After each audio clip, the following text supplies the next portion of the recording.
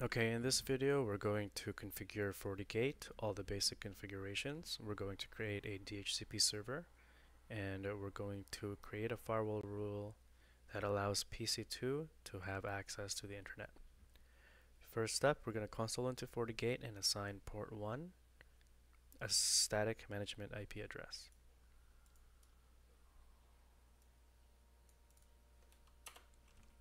We're going to log in as admin.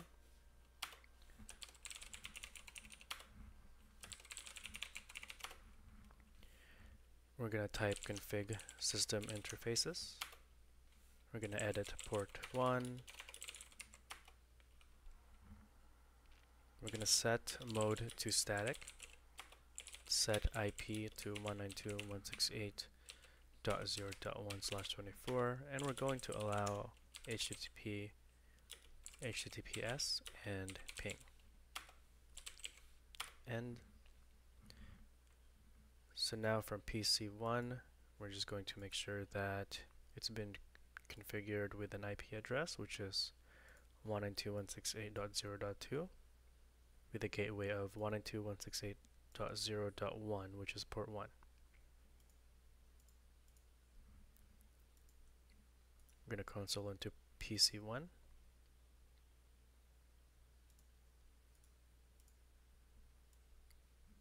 And from the address bar we're going to type http 192.168.0.1 which is the IP address of FortiGate.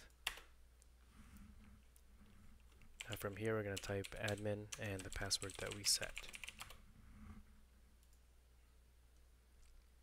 We're going to hit later for setup press OK and now we are in the web admin GUI of FortiGate so that's step two, access FortiGate GUI. Step three is to create a static route to the internet. We're just going to go to network, static routes, create new, and our in our exit interface is going to be port 3. So interface port 3, close. Destination is quad 0 for everything, and we're just going to hit OK. Step 4, finish addressing scheme for port 2 and port 3. We're going to go to network interfaces. We're going to go down to port 2. And for port 2, it's going to be 10.0.0.1 slash 24. And we're going to give it an alias of local area network we're going to allow HTTPS, ping, and SSH. We're also going to create a DHCP server for step 5 and we're going to give it an address range of 10.0.0 10 to 10.0.0 let's say 50. The default gateway is the same as interface IP and for DNS server we're just going to specify an external DNS server 8888 status is enabled press OK. And that's it for port 2 now we're going to go to port 3 uh, port 3 is just a DHCP client. And we're going to name it wide area network. Make sure it's enabled and we're going to allow HTTPS and ping. Press OK. And let's see, it should receive an IP address. There we go.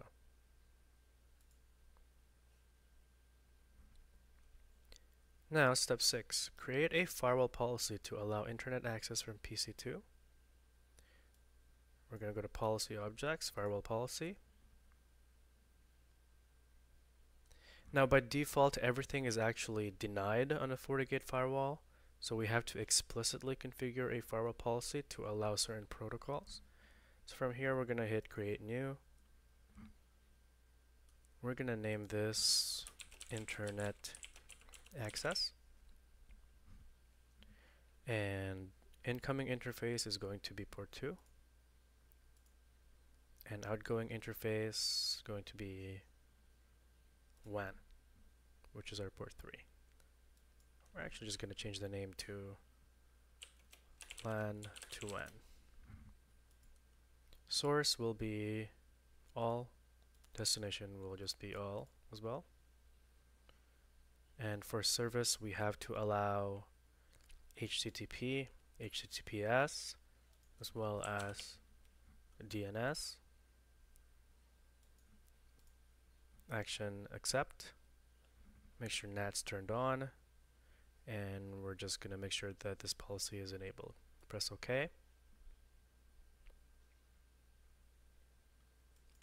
Okay, our firewall our firewall rule is set up. Step 7, we just have to verify internet connectivity from PC2. So from PC2, first we have to make sure that it's getting an IP address from the DHCP server. So this line here, I just uncommented out. And we hit save, apply, OK. And we'll just wait for the interface to come up. So now we're going to verify internet connectivity from PC2. We're going to just go um, console into PC2. First, we're going to verify that it did receive an IP address from the DHCP server that we created earlier. As you can see, it did receive an IP address from that range. So from web browser, if we type in www.google.ca, we should be able to access the internet. But um, since we've only allowed internet access, HTTP, HTTPS, and DNS, we shouldn't be able to ping google.ca. So let's give that a try.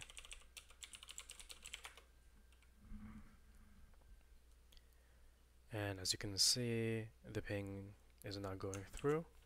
Even with an IP address, the ping is not going through but for just general web access, it's completely working.